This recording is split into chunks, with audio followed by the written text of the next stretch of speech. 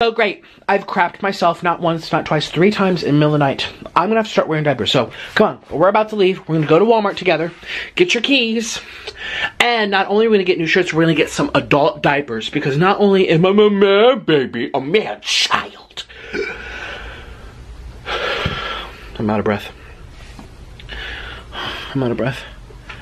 I'm out of breath.